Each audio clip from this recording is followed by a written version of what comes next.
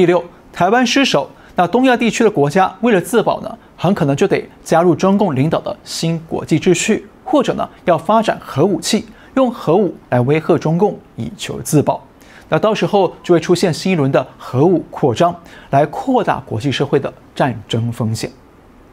好，我们简单的列出这六种影响啊，其实就足以说明台湾对美国的利害关系，以及呢对国际秩序的重要性。所以啊，台湾有事，世界有事，弃守台湾，全球不安。这不是夸大的口号，而是务实的警告。